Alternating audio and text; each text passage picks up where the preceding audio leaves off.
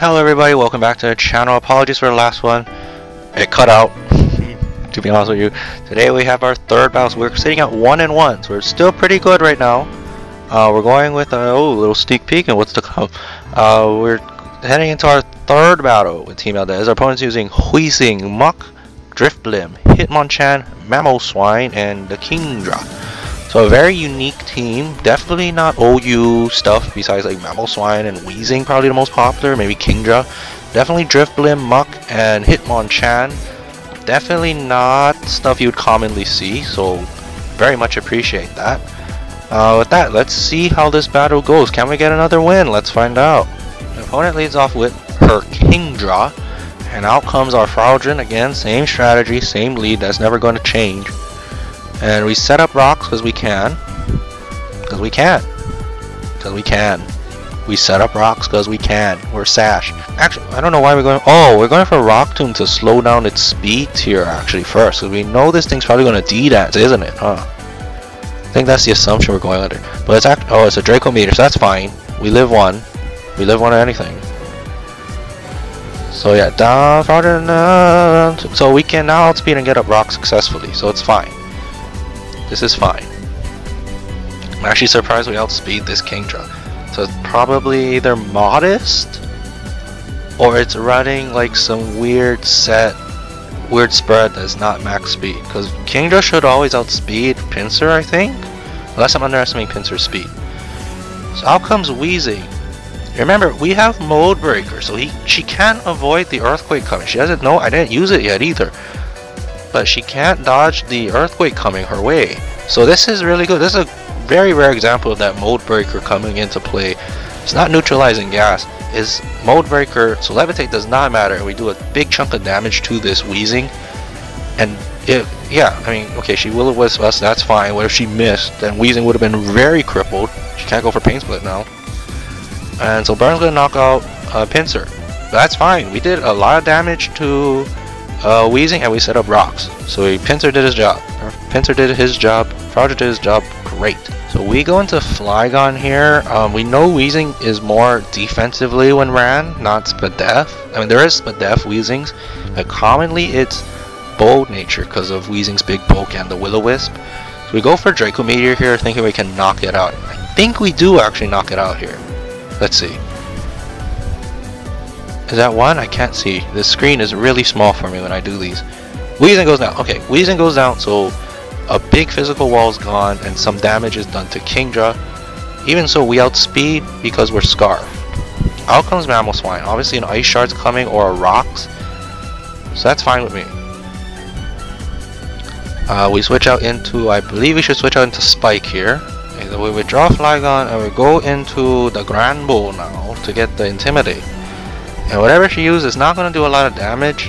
Oh, I mean, Intimidate, never mind, it's oblivious, so it doesn't see it. And she uses her rock, so very good, she took advantage of the situation. I was contemplating on going into the Manectric actually, because it's Specs Flamethrower, and that would have done a lot of damage to this Mammoth Mamoswine, but what if the all odds she goes for Earthquake? So, you know, that's all. That's why I went to Granbull. That's probably the smarter play too. Out comes the Muk, and we do click Earthquake, I believe. Wait, no, remember, we click Play Rough. So that's going to do a little chunk of damage. That's fine. Muk is more specially defensive, and we get the minus one attack. On Muk, Muk is hits very hard, but that's fine. That's fine. And we go into Mystic again, I believe. So yeah, we switch out, we go into Mystic, and we can click Earth Powers, barring Drifblim. So it depends on the risk that, whatever risk we want to take here. So she unfortunately misses her gunk shot that would have it's resisted anyway, but still would have been necessary damage to take out the Flygon.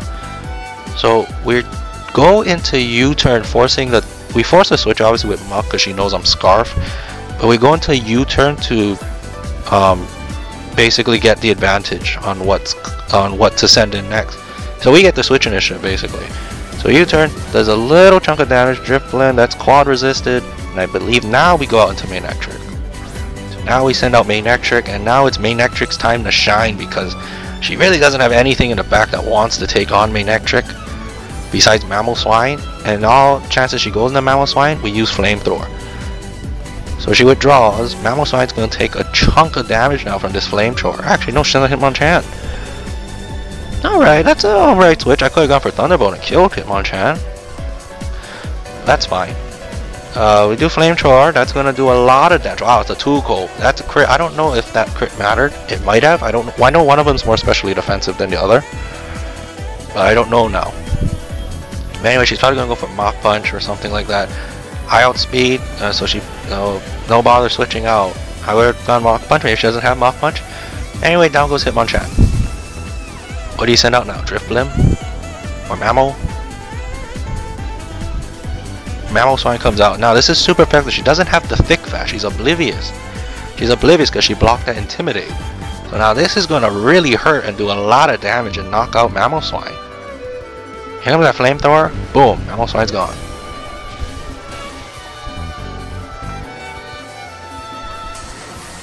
So she doesn't have much options now. Now I'm free to click Thunderbolt. If I wanted to switch out and click Thunderbolt, I can spam Thunderbolt now. I believe she goes into Drifblim though. No, she got into Kingdra to quad resist. She probably should have done that sooner.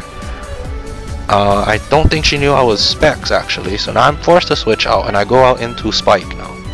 So out comes Spike and we got the Intimidate drop. Uh, just in case it is some mixed variant or some sort, it's Dragon Dance or something.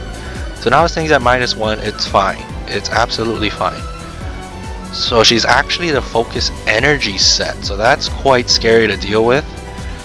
Um, yeah, and obviously she outspeeds as well, so she's at 99% chance to crit now.